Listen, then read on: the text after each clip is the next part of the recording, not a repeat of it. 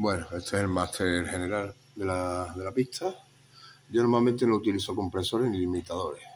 Me gusta la música que no suele enlatada, que suene más fresca, más natural. Eso es un riesgo.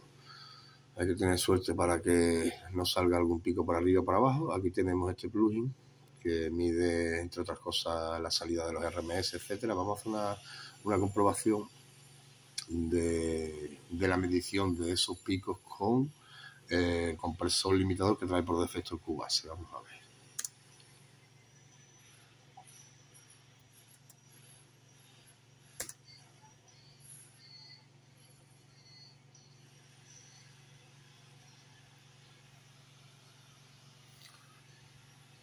Al aplicarle el compresor de Cubase,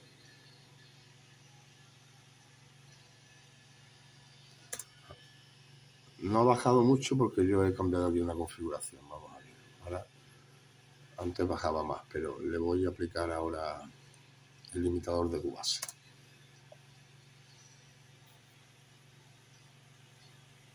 Ahora baja. Brutal.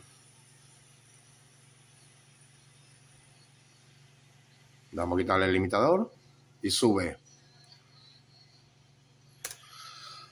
Aquí jugando con las distintas combinaciones porque el limitador me baja mucho la ganancia y, y me lata la canción.